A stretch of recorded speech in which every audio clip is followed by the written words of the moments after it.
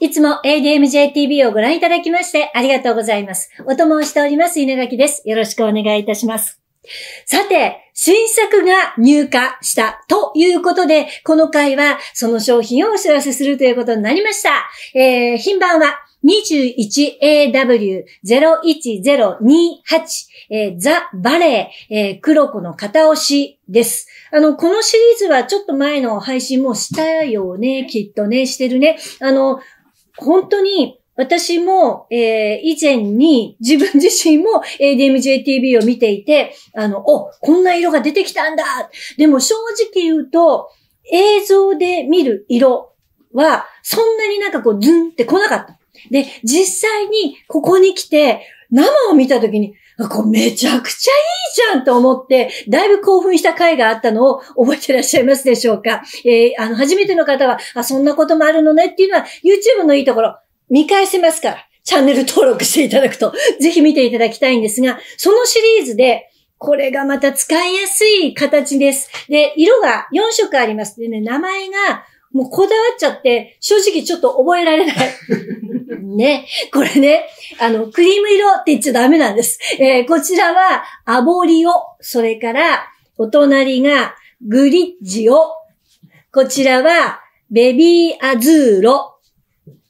アルジェント。わけわかんない。でも、やっぱりこれぐらい、その、色の名前に絶対に変えないというこだわりも、この革の、えーメーカーさんのこだわり。この後、えー詳しいことを、今日はですね、私の相棒は島田さんになりました。えー島田さんから詳しく、えー革の説明、えーそれぞれを教えてもらうことになります。あの、物自体は全部ストラップがついていて、ストラップの色も全部それに合わせて違うし、ストラップの、ちょっとじゃあこのアボリを持ちますますけれども、このね、ストラップのこのほら、このちょうどここテープのところをわざわざカットして縫い合わせて、その上からこの皮を貼るの、ここもアボリオが使われていたりとか、まあ、とにかく凝ってる。で、えーこれ自体の重さは 360g ということでした。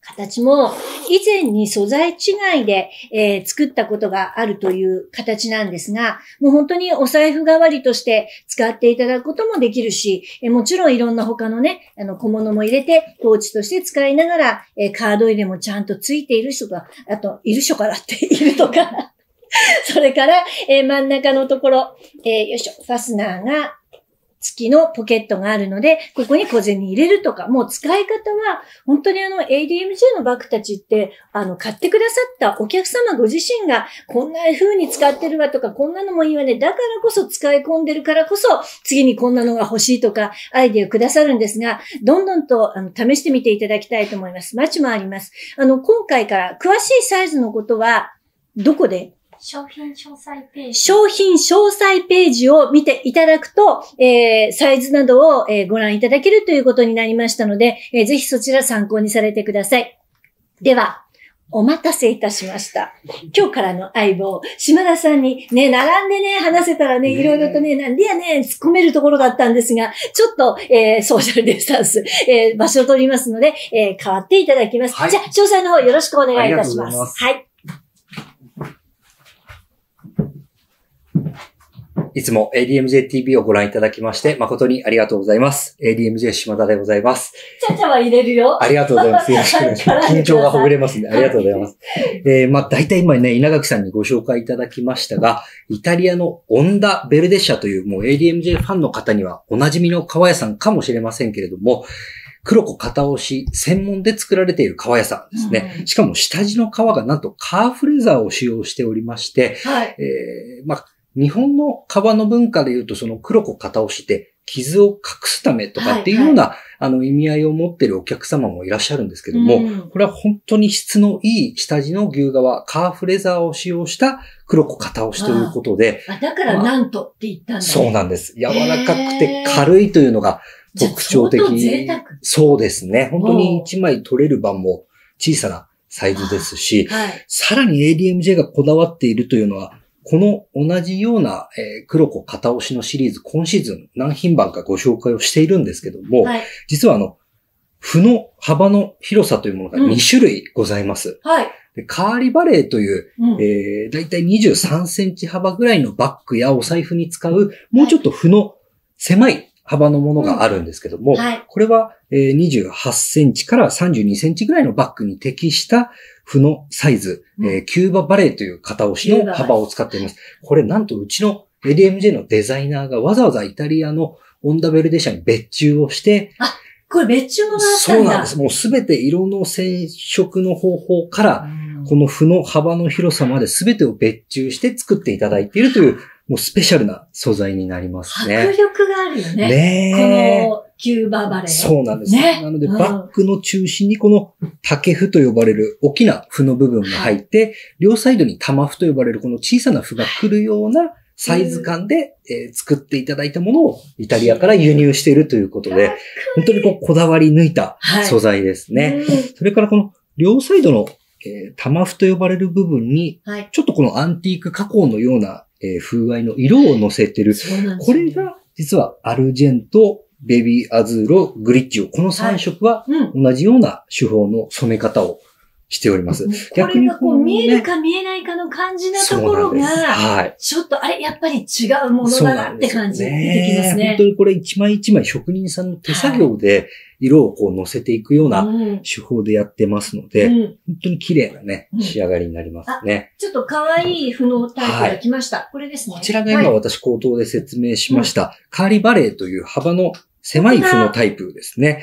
符が大きさが全然違そうなんうんだ。この商品に逆にこの革で裁断をしてしまうと、すべてがこう大ぶりな符になってしまうので、はいこれは裁断面、横を見ていただくと、この細かい符が綺麗に入るという、このセンター取りが表現できるという、はい。こういうことで、えー別注をしているということですこういうね。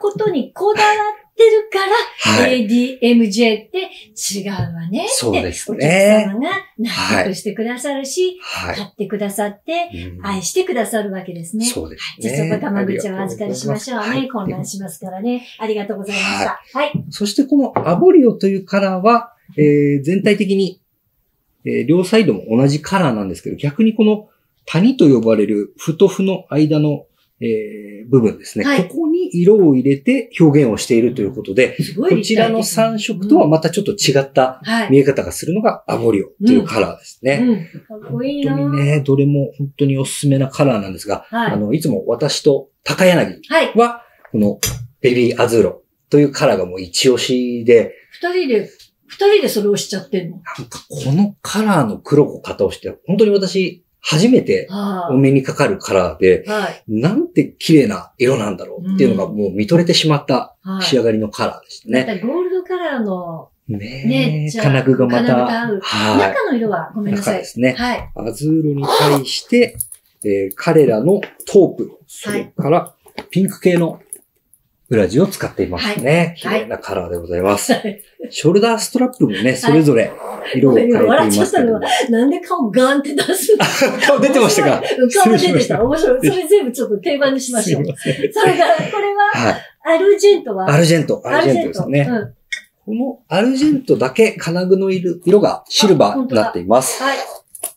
中はオフホワイトと、はい。今度は顔は出さずに、え、出えーして。ネイビーですね。はい。ネイビーの裏地これね、クールないはい。内装のカラーと、えー革のシルバーっぽい雰囲気にはい。金具の色も合わせているという仕上げ方ですね。私ちょっとそれおすすめかな。ね、あのーアルジェントかアボリオなんだ、実は。はい。はい。小林も割とアルジェント、アボリオをね、あ、本当？押しますね。りそうなものかう、。どんな洋服にも合わせやすいグリッチを。はい。はい。はい。これはもうあのね、牛革のオイスターグレー同様にお洋服が同型色でもうんはい絶対に合ってしまう色で、えー、なんと綺麗なね、はい彼らのノースブルーとエッグという黄色の裏地になってますね。はいはい本当にこう色鮮やかな裏地でございます。はい。はい。そしてね、この先ほど稲垣さんもご紹介いただきました、こはいのマレットテープがね、ね。本当にこう肌触りのいいテープで、これも実は別注して作っていただいてるはい。テープですね。うん本当にこう肩に食い込むことなく使っていただけますの最で、高ですよ。はいはい。まあ、バッグの重さが約 360g、はい。ストラップも約 100g ということで、本当にストレスなくはいお持ちいただくことができま。ますあこのサイズで、じゃあどんな感じに見えるかなと、私ちょっと、ご紹介お願いいたいいしま。ですすか？はい。持ちますね。今日はね、島田さん今日は張り切ってスーツでいいスーツを着てらっしゃって、ねえ、もう本当にバリッと決めて眉毛も描いて、さて、余計なこと言いました。斜め掛け。あ、消えちゃうかな。どう？映ってます？大丈夫？入ってる？ダメ？台に乗るか。ちょっと待ってくださいね。奥ですね。はいよ。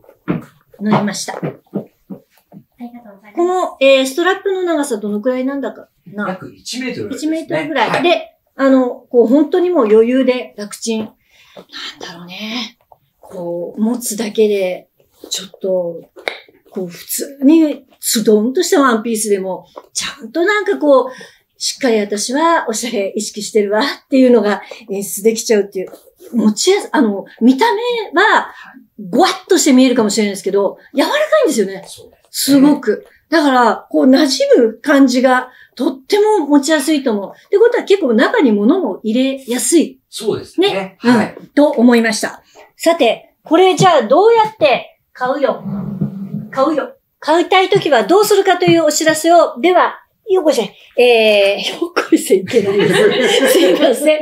えー、島田さん、お願いいたします。ははいい。ありがとうございます。はい。はい。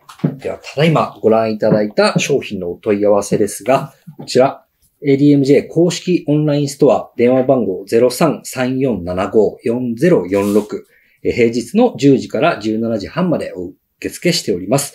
メールの方は info.admjco.jp まで、えーメールいただければと思います。はいそして、えー直営店のご案内ですね。関東地区ですと、松屋銀座、それから高島屋さんの日本橋、玉川、横浜で取り扱いがございます。はいそして、えー東海地区、名鉄百貨店さん、近畿地区、大阪高島屋さん、九州地区、福岡三越さんまでお問い合わせいただければ、えーお取り扱い店舗詳細のご案内をさせていただきます。はい。そして、はい最後にお願いですが、えー本当に先日400回というね、はいメモリアルな放送をさせていただきましたけれども、はい。えーより多くのお客様に今後も情報発信していただければ、させていただければと思いますので、はい。ADMJTV チャンネル登録とグッドボタンクリックしていただきますようお願いいたします。はいそれでは本日もご視聴いただきまして。ありがとうございました